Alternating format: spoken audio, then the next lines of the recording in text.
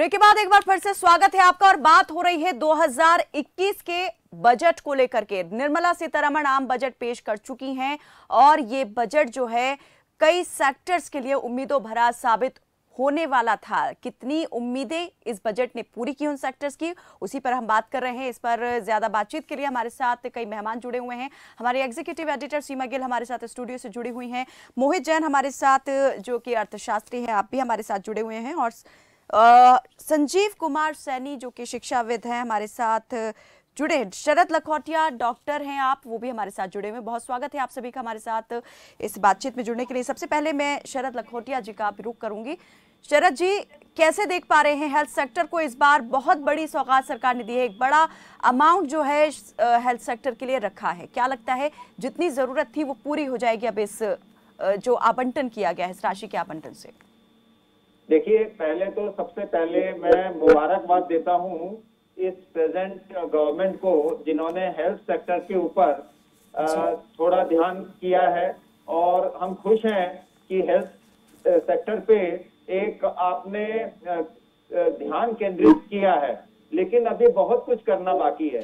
देखिए विश्व में ये ग्लोबल पेंडेमिक इसने ये बता दिया कि हेल्थ सेक्टर कितना प्रमुख है। और विश्व की बड़ी से बड़ी अर्थव्यवस्था इससे क्रिपल हो सकती है। इसका एग्ज़ाम्पल है जहाँ अमेरिका में हेल्थ सेक्टर पे सबसे ज़्यादा खर्च किया जाता है सबसे दुरुस्त है। जी। जब वो पैरालाइज होती है तो कंट्री में इकोनॉमिक कंडीशन क्या हालात होते हैं? हिंदुस्तान में ये हमारी मेडिकल फोर्स डॉक्टर्स का इतना ज़्यादा इन्वॉल्वमेंट है कि एक तो आप डॉलर में नहीं रुपए में खर्च करते हैं और उसके बावजूद इन्होंने अपना आत्म पूरा पूरा स्वयं को कंप्लीट डेडिकेट किया है हेल्थ केयर में जिसके कारण व्यवस्था बिगड़ने से बच गई है।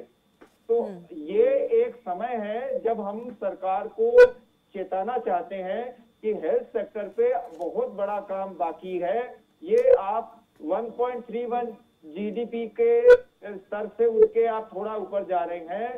ग्लोबल 8 परसेंट का जो एवरेज है वहाँ तक पहुँचना आपका लक्ष्य है। अगर इस ग्लोबल पेंडेमिक समझ में नहीं आया तो ये बहुत देरी हो जाएगी।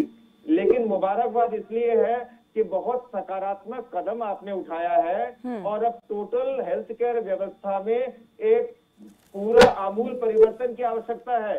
आपको एनकरेज करना होगा यहाँ से प्राइवेट सेक्टर ही जो मेनली टर्शियरी केयर में और बाकी केयर में भी ध्यान दे रहा है, उसको बढ़ाने का टैक्स आपको घटाने हैं। इक्विपमेंट्स आपको यहाँ इंडिजिनस मैन्युफैक्चरिंग के लिए बढ़ावा देना है फार्मा को बढ़ावा देना है। आपका यही हेल्थ सेक्टर आपके लिए मनी स्पूनिंग हो जाएगा। इतना बड़ा इंडस्ट्रियल रिवोल्यूशन होगा इससे जो आप सोच नहीं सकते हैं। जैसे कंप्यूटर ने विश्व में हिंदुस्तान को एक अग्रिम भूमिका दी है मेडिकल सेक्टर में भी ये भूमिका बहुत दिन से वेट कर रही है। इसे आप थोड़ा एनकरेज करें ये इंटरनेशनल हब बनेगा टूरिज़्म का मेडिकल टूरिज़्म का। और हिंदुस्तानी डॉक्टर विश्व में सबसे ज़्यादा प्रसिद्ध है। और अमेरिका जैसी जगह में भी जब बाइडन आते हैं तो जन, सर्जन जनरल एक हिंदुस्तानी को बनाते हैं। आप ये समझिए कि हिंदुस्तान का बेस्ट ब्रेन यहीं पे है। जो मिडिल लेवल का ब्रेन है वो अमेरिका जैसे जगह में जाके वहाँ वो विश्व नेता बन जाता है तो इस मेडिकल सेक्टर को आप अब अपेक्षा में नहीं रख सकते हैं।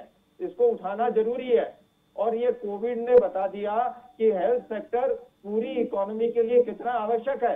जी। अब मैं कहूँगा कि बहुत सारे ऐसे इश्यूज़ हैं पर्टिकुलरली मैं छोटे प्रैक्टिशनर से लेके बड़े हॉस्पिटल तक और हेल्थ वर्कर्स से लेके फार्मा इंडस्ट्री से लेके इंडिविजुअल मैन्युफैक्चर, हर एक जगह का अपना एक बहुत बड़ा अध्याय है। इसे ध्यान से पढ़ें तो देश की प्रगति के अंदर बहुत अभूतपूर्व भूमिका अदा करने वाला है।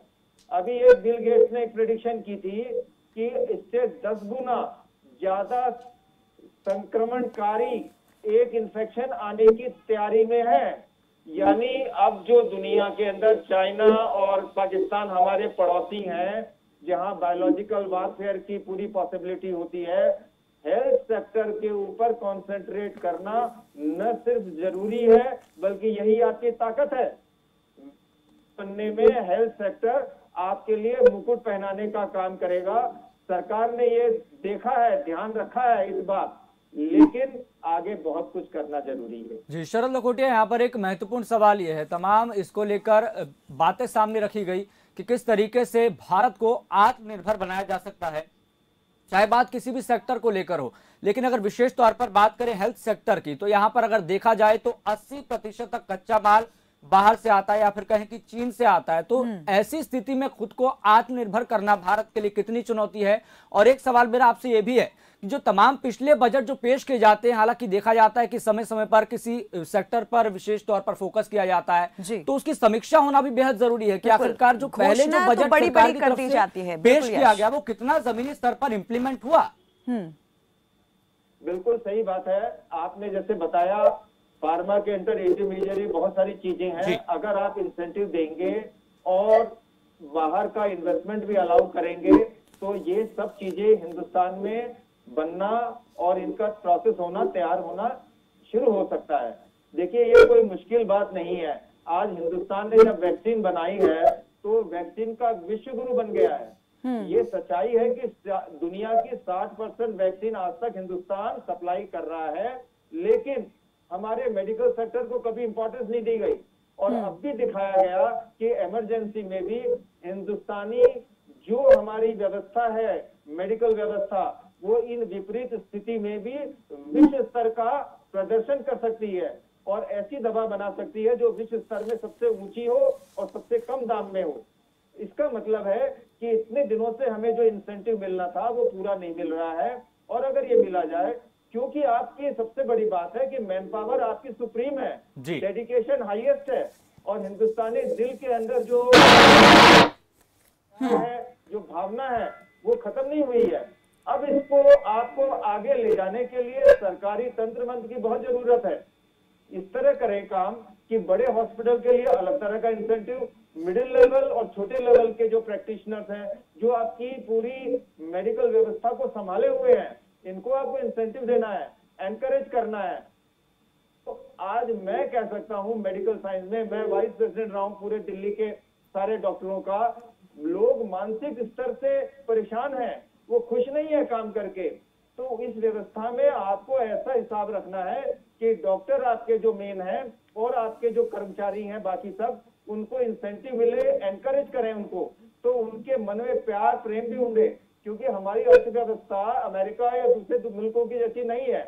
तो हमें इनको एनकरेज करते हुए एक ऐसा सिस्टम बनाना है जिनकी सारी प्रॉब्लम सुन के जो हमारे हाथ में है, वो हमें देना है, प्रेम देना है। पहली बार मोदी जी ने ताली बजा के और थाली बजा के स्वागत करके ये बताया है, फूल छिड़कवा के कि ये डॉक्टर कितने इंपॉर्टेंट है? जी। मैं एक बात कहता हूँ 700 डॉक्टर कोविड के इलाज करते हुए कोविड से मारे गए पूरे हिंदुस्तान में। ये इतनी हम्म। बड़ी देखिए सैनिक मरते हैं तो उनको ये मालूम है कि गोली लग सकती है लेकिन डॉक्टर मरने के लिए नहीं आता है। डॉक्टर तो जीवन दान देने के लिए आता है। इस इलाज के दौरान उसकी मृत्यु हो गई है कितना बड़ा उनका है समर्पण। इसके लिए कोई बहुत बड़ी आ, आपको एक श्रद्धांजलि के लिए मिशन बड़ा कोई ऐसा स्मारक बनाना ज़रूरी है और इन परिवारों को पूरी तरह से उनको आर्थिक मदद मिलनी चाहिए। तो मेडिकल आपके फ़ील्ड के अंदर इग्नोर हो रहा है। इसको अगर आप ध्यान दें और इनकी समस्याओं को ध्यान से समझें तो ये विश्व कल्याण, देश कल्याण, आत्मनिर्भर भारत और इकोनॉमिक फ्लरिशिंग इकोनॉमी ये सब चीज़ें आप यहाँ पर एक जी शरद लखोटिया जी क्या आपको इस बजट में वो विजन दिखाई देता है? जो सारे हेल्थ वर्कर सारे फ्रंटलाइन वॉरियर्स जिन्होंने कोरोना काल में जोखिम भरी परिस्थितियों में आगे आकर देश को बचाने का काम किया और विश्व स्तर पर विश्व के मानचित्र पर अपनी एक पहचान छोड़ने का काम किया। चाहे बात सीरम इंस्टीट्यूट की देखें तो एक बहुत बड़ा योगदान पूरे वैश्विक स्तर पर उसका रहा आपको लगता है कि इस बजट में वो विजन दिखाई देता है जिस तरीके से हम पटरी पर चल रहे हैं हेल्थ केयर में? उत्साहवर्धन जैसे आपने कहा कि उनका हौसला अफजाई हो। जी। देखिए इतने सालों से हम जो देख रहे हैं ये हेल्थ सेक्टर बिल्कुल इग्नोर हुआ है। जी। उनकी बात कहीं सुनी नहीं जाती है। उनकी कहीं पूछ ही नहीं होती है। ये पहली बार ये मोदी गवर्नमेंट ने ये हेल्थ सेक्टर को रिकॉग्नाइज किया है। जी। एक हेल्थ मिनिस्टर एक खुद डॉक्टर होने के कारण वो सब समस्याओं को समझ रहे हैं और पहुँचा रहे हैं ऊपर तक। ये हम्म। शुरुआत है। ये शुरुआत है और ये शुरुआत कितनी उम्दा होगी आगे इससे और कितना बेहतर कल हो पाएगा इस पर हम आगे बात आपसे करेंगे। शरद लखोटिया जी इस वक्त हमारे साथ एक और मेहमान जुड़ गए हैं रोहित सिंह जुड़े हैं खेल विशेषज्ञ हैं आप। बहुत स्वागत है आपका रोहित जी। और आपसे ये जानना चाहेंगे कि क्या लगता है इस बार जो है हर वर्ग को प्रोत्साहन देने के लिए बजट कितना उम्दा रहा है? खेल वर्ग की अगर बात कर लें खिलाड़ियों की बात कर लें कितना आप देखते हैं कि इससे उम्मीदें बनती हैं? शुक्रिया आपका इस प्रोग्राम में मुझे बुलाने के लिए। कल ये बजट अगर हम देखा जाए तो स्पोर्ट्स के लिए काफ़ी अच्छा रहा because as we know that COVID की वजह से पिछले साल पूरी स्पोर्टिंग एक्टिविटीज़ बंद रही। तो इस साल बहुत ज़रूरी है कि हम स्पोर्ट्स एक्टिविटीज़ को वापस से स्टार्ट करें। और जो भी हमारे रिस्पेक्टिव स्पोर्ट्स हैं मेजरली आप जानते हैं जैसे इंडिया में क्रिकेट सबसे ऊपर है तो क्रिकेट में जो रणजी ट्रॉफी होती है अभी जैसे बीसीसीआई ने ऐलान किया कि वो तो नहीं हो पाएगी पर लेकिन ओडीआई मैचेस वो ज़रूर करेंगे। बट स्टेडियम में पैसा लगाना बहुत ज़रूरी है इंफ्रास्ट्रक्चर में पैसा लगाइए और प्लेयर्स जो रणजी लेवल पे हैं उनका ध्यान रखना बहुत ज़रूरी है सो दैट वही आगे जाके इंडिया को रिप्रेजेंट करते हैं नेशनल टीम के लिए। तो वहाँ पर आपको डेफिनेटली ग्रोथ देनी चाहिए। अपार्ट फ्रॉम क्रिकेट हमारा फुटबॉल काफ़ी से आगे आ रहा है तो उसकी इंफ्रास्ट्रक्चर पर भी हमें पैसा खर्च करना चाहिए और बाकी सारे स्पोर्ट्स भी स्पेशली एथलेटिक्स रेसलिंग बहुत सारे स्पोर्ट्स हैं जहाँ पर हमें फोकस करना चाहिए सो दैट कि हम ओलंपिक्स में जाके भी उनमें भी मेडल जीत सकें। तो I think infrastructure should be the first priority in terms of allocation of this particular budget fund जी आ, मोहित हमारे साथ जुड़े हुए हैं अर्थशास्त्री हैं। मोहित आपसे ये जानना चाहेंगे कि यहाँ पर अलग अलग मिनिस्ट्रीज के लिए भी जो मद है वो दिया गया है। अगर जल शक्ति मिशन की बात करें तो उसके लिए जो एक अमाउंट रखा गया है उस अमाउंट को आप कैसे देखते हैं? कितना आप मानते हैं कि उससे जो सफलता है हासिल की जा सकती है? देखिए, ऐसा है जी, जो बजट में सबसे ज़्यादा जो अगर अमाउंट दिया गया है तो वो आप देखिए तो ड्रिंकिंग कह सकते हैं कि वाटर एंड सैनिटाइजेशन को दिया गया है। इसके पीछे मैं ये मान सकता हूँ कि सरकार की मानसिकता ये हो सकती है कि आज गाँव गाँव तक सबसे बड़ी बात है कि पानी को पहुंचाना और पानी भी कैसा हो, स्वच्छ हो, पीने लायक हो।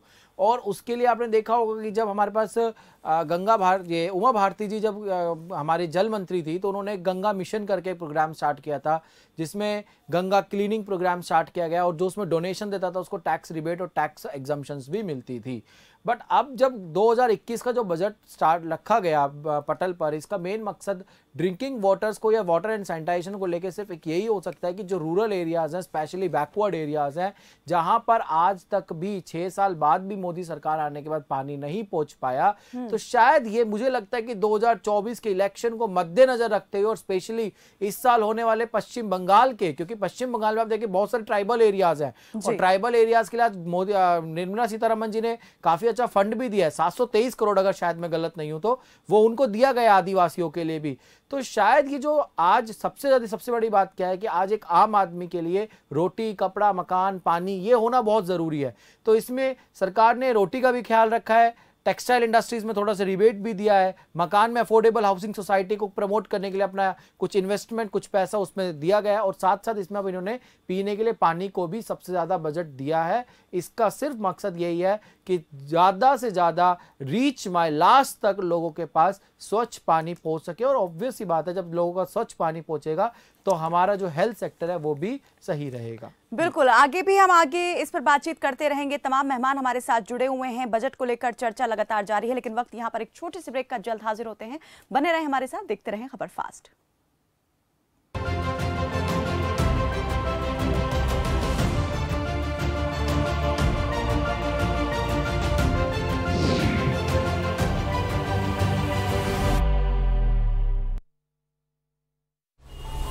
सतत पहल द्वारा आज जो कचरा और कृषि अपशिष्ट है, वो कल गाड़ियों में फ्यूल बनकर दौड़ेगा। किसानों के लिए अतिरिक्त आय के साधन बनेंगे। रोजगारों का सृजन होगा। प्राकृतिक गैस और कच्चे तेल का आयात घटेगा। पर्यावरण होगा स्वच्छ और भारत आत्मनिर्भर बनेगा।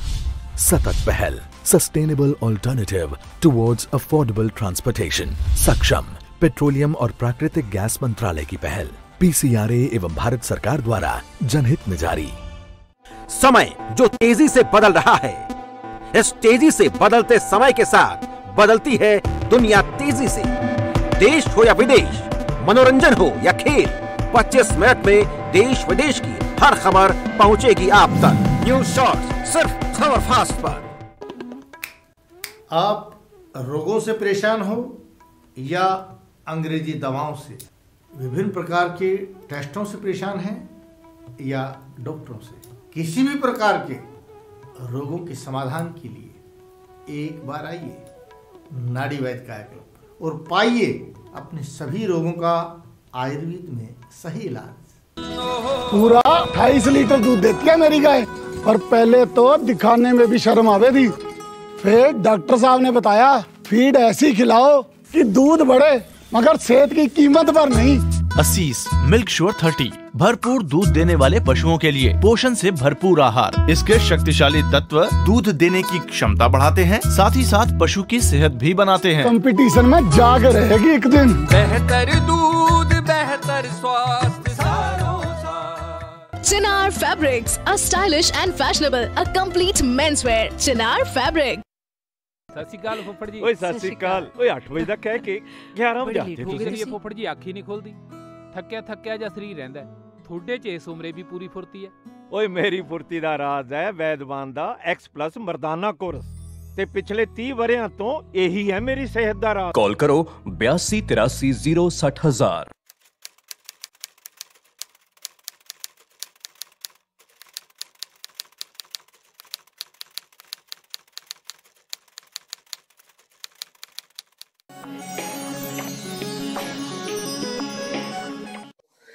नमस्तुभ्यम नमस्तुभ्यम नमाम महम मम सहद्रही आर्य राष्ट्र के रहने वाले मेरे हम उम्र भाइयों, आप सभी को मेरा नमस्कार है स्वागत है आप सभी का अपने इस पसंदीदा प्रोग्राम नाड़ी वैद्य का मैं एक बात बताता हूँ, रोग बड़ा नहीं है।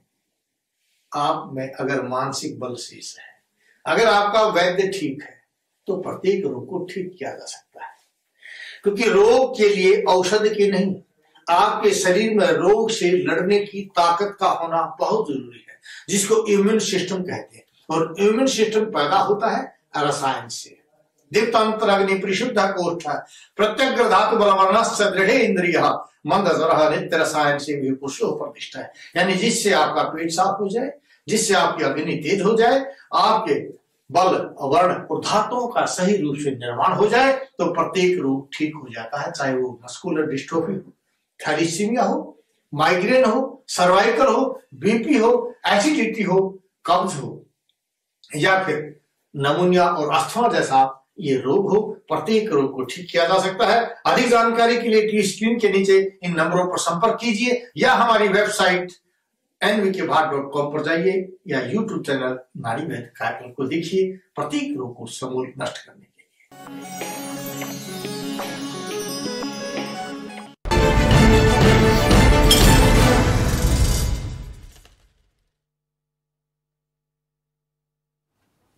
ब्रेक के बाद एक बार फिर से स्वागत है आपका और बात लगातार हम कर रहे हैं, चर्चा कर रहे हैं। बजट 2021 को लेकर के कितनी उम्मीदों पर खरा उतरा है ये बजट? और आगे आने वाले वक्त में एक साल में देश की जो इकोनॉमी है, जो पिछले एक साल में चरमरा गई थी कोरोना काल की वजह से, उसके लिए ये कितना बड़ा वैक्सीन जो है साबित हो सकता है? क्या ये बजट इकोनॉमी वैक्सीन कहा जा सकता है?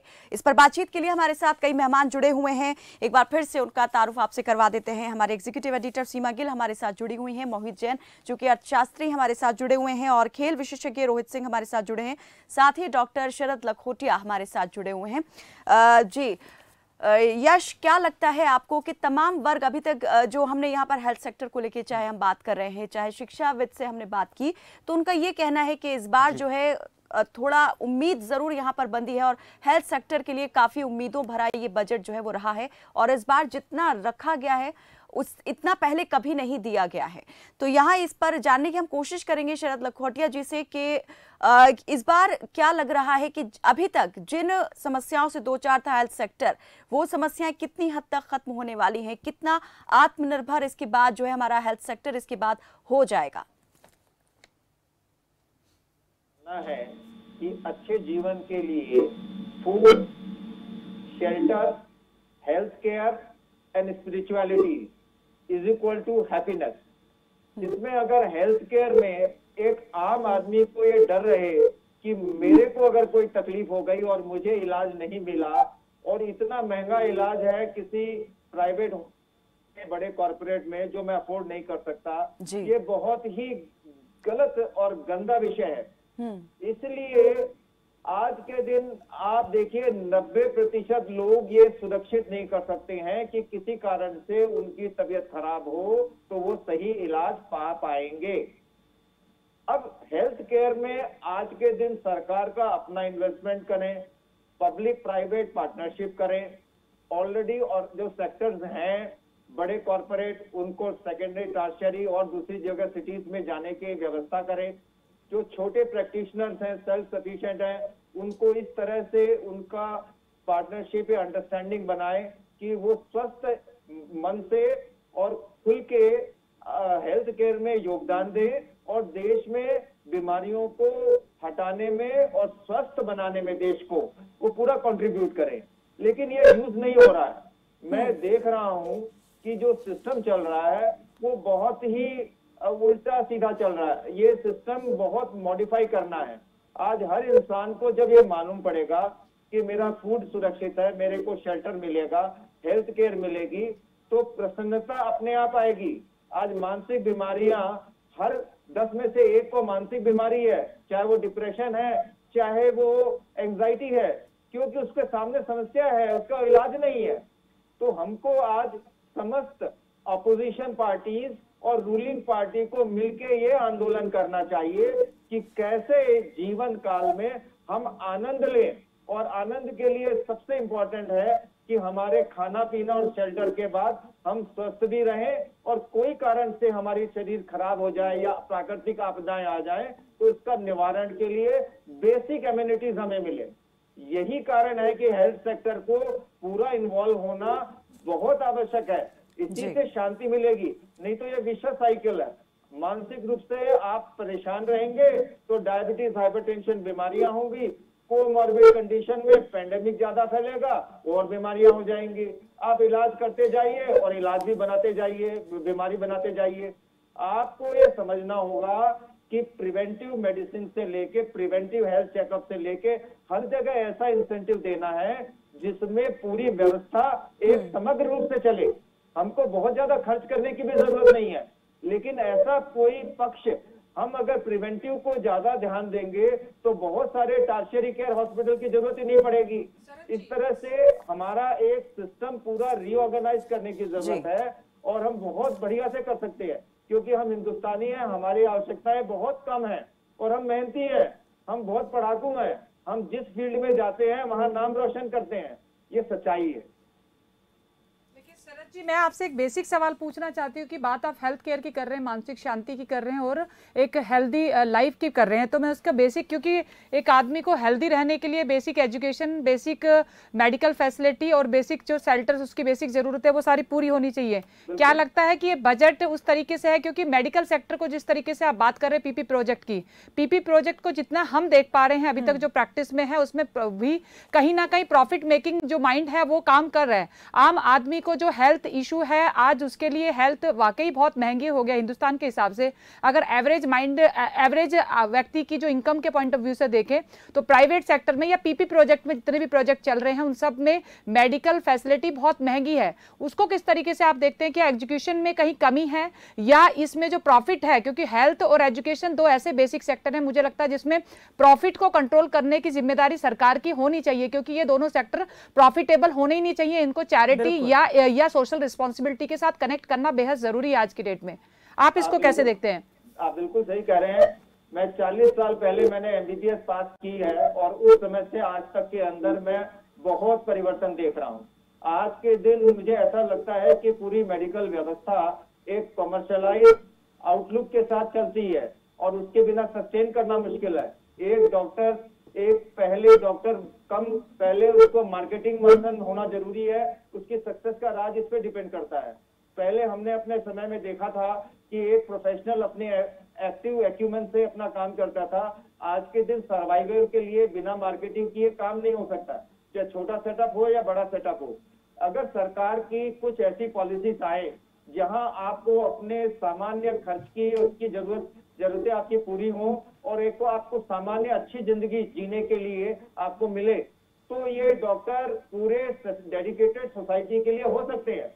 लेकिन जब आपका जैसे बोला जाता है भूखे भजन ना होए गोपाला हम्म। अगर आपकी व्यवस्था ही नहीं मिल रही है कॉर्पोरेट में जाके आपको नौकरी करनी पड़ती है जहाँ कॉर्पोरेट प्रिंसिपल से आप डिराइव होते हैं प्राइवेट में आप लोन लेते हैं सारी आप producer director actor hero organisation के हैं पचास तरह की सरकारी परेशानियाँ आती हैं तरह तरह के इंटरफरेंसेस आते हैं उसमें सरवाइव करने में बिना इकोनॉमिक्स के हो नहीं सकता। अपने माँ बाप का कितना पैसा इस्तेमाल करेंगे? ऐसे में सरकार को कोई ना कोई ऐसा ऑल्टरनेटिव यहाँ भी यहाँ भी बिल्कुल ध्यान देने की ज़रूरत है। सरकार को वक्त हमारे पास बहुत कम बचा है तो हम चाहेंगे जल्दी जल्दी से हमारे साथ जो और दूसरे मेहमान जुड़े हुए हैं उनसे भी अ, हम कुछ ज़रूर ज़रूरी और विषयों को लेकर के बातचीत कर लें। मोहित जी से सवाल पूछना बहुत ज़रूरी है। जिस तरीके से देखा गया अर्थव्यवस्था में सरकार अपने अपने तरीके से आकलन करती है और यहाँ पर देखा जाता है जो फ़िज़िकल डेफिसिट है राजकोषीय घाटे को लेकर सरकार का एक अपना अनुमान होता है। हम्म। और सरकार के सामने अगर फ़िज़िकल डेफिसिट अगर बढ़ रहा है तो अपने आप में एक बड़ी चुनौती भी होती है। कोरोना काल में हमने देखा कायनाथ जी जिस तरीके से सरकार के सामने 9.5 फ़िज़िकल डेफिसिट था लेकिन अब सरकार अनुमान लगा रही कि 6.8 से लेकर 7 पॉइंट तक ये फ़िज़िकल डेफिसिट हो सकता है। तो मोहित जी से सवाल है कि आखिरकार सरकार के सामने कितनी बड़ी चुनौती है? इसको किस तरीके से बैलेंस करना और ये कितना ज़रूरी होता है कि फ़िज़िकल डेफिसिट भी सरकार के साथ साथ चलता है। बढ़ेगा या और घटेगा? और कैसे यहाँ पर चीज़ें मैनेज करने वाली है सरकार? देखिए सरकार के लिए जो आज वित्त मंत्री जी ने जो बजट पेश किया उसमें सबसे बड़ा चुनौतीपूर्ण सब, सबसे ज़्यादा चुनौतीपूर्ण यही रहा कि जब उन्होंने कहा कि फ़िज़िकल डेफिसिट पहले हमारा जो था वो six point nine point five था जिसको कम करके सिक्स पॉइंट एट होगा। बट मैं अगर बोलूँ अगर मेरा खुद का अपना व्यक्तित्व राय जाना जाए तो ये बहुत मुश्किल है कि मेरे को तो नहीं लगता कि शायद 9.5 से 6.8 करना बहुत आसान है क्योंकि एक तरफ़ सरकार की मंशा है कि इसकी जीडीपी जो आर्थिक सर्वेक्षण रखा गया सरकार द्वारा उसको 11 परसेंट करा जाए जीडीपी को। जबकि आप देखिए कि कोरोना से पहले भी हमारी जीडीपी गिर रही थी और कोरोना के चुकी थी। बिल्कुल और कोरोना के बाद तो जीडीपी विश्व स्तर पे सभी देशों की गिरी है। ये तो ना तो भारत के हाथ में था ना अन्य देशों के हाथ में था। बट अब इसमें सबसे बड़े वित्तीय घाट घाटे को कम करना। देखिए वित्तीय घाटे को कम करने के लिए सरकार ने एक सबसे बड़ा स्टेप तो अच्छा उठाया जो आज रूमर भी था जो बाज़ार में सुनने को भी आ रहा था कि शायद गवर्नमेंट सरकार लार्ज टैक्स पेयर के ऊपर कोरोना टैक्स लगा देगी। हम्म। वो शायद सरकार की मंशा नहीं रही और सरकार ने इसको नहीं लगाया। ये सबसे चलिए अच्छा ये कह कदम सकते हैं कि कहीं ना कहीं अभी व्यापारी बिल्कुल। महत्वपूर्ण क्योंकि सवाल से मुझे लग रहा है कि आत्मनिर्भर भारत जो प्रधानमंत्री का जो मिशन है क्या अगर हम अगर प्रोडक्शन मेक इन इंडिया को प्रमोट करते हैं काम करते हैं तो क्या उस तरीके से किया जा सकता है? क्योंकि दुनिया भर के लिए हमारा बाज़ार दुनिया भर का खुला हुआ है। कोरोना के बाद जिस तरीके से चाइना से ग्लोबल लेवल पे मोह भंग हुआ है उसके बाद इंडिया के लिए क्या अपॉर्चुनिटी है कि हम हाँ एक देखिए भारत आने वाली अर्थव्यवस्था सबसे ऊपर पहुँचने वाली अर्थव्यवस्था में माना जा सकता है। ऐसी बात नहीं है कि हम इसको मना कर दे, नकार दे, नहीं। आप देखिए, कोरोना के काल में ये हम सभी अपनी देश, अपनी खुद की स्ट्रेंथ समझ पाए कि हम क्या कर सकते हैं। नहीं तो सभी देश चीन की तरफ़ देख बैठे थे कि वहाँ से अगर कुछ आएगा तो हम कुछ बनाएँगे। और आत्मनिर्भर भारत का इसी कोरोना के बीच में राहत पैकेज जो बीस लाख का दिया, उसमें राहत पैकेज में लेकर आना आत्मनिर्भर को बहुत अच्छा कदम है दूसरी बात आज आप देखिए सारा देश आ रहा है कि भारत हमें वैक्सीन दे दे तो इसका मतलब है कि भारत ने आज फार्मा इंडस्ट्री सेक्टर को इतना डेवलप किया और इतना आत्मनिर्भर बनाया। कि जो विश्व की महामारी थी में उसकी आज कोरोना। भारत दे रहा है चलिए बहुत बहुत शुक्रिया आप सभी मेहमानों का हमारे साथ इस बातचीत में जुड़ने के लिए। तो सरकार जो है, वो लगातार देश की अर्थव्यवस्था को सुधारने के लिए और ऊपर लाने के लिए कदम बढ़ा रही है। आम बजट भी सरकार ने पेश कर दिया है। भले ही कुछ सेक्टर्स को इस बजट से उतनी जो है, खुशी हासिल ना हुई हो ना उम्मीदी थोड़ी हाथ लगी हो, लेकिन ये कह सकते हैं कि ये बजट कुल मिलाकर उम्मीदों भरा ज़रूर रहा है और उम्मीद लगाई जा सकती है कि आर्थिक सर्वेक्षण जिस और इशारा कर रहा था कि दो साल में भारत जो है, तेज़ी से भरने वाली अर्थव्यवस्थाओं में शामिल हो जाएगा दुनिया की, वो उम्मीदें ज़रूर बढ़ाएँगी। फ़िलहाल के लिए मेरे साथ बस इतना ही। आप देखते रहे खबर फास्ट। नमस्कार।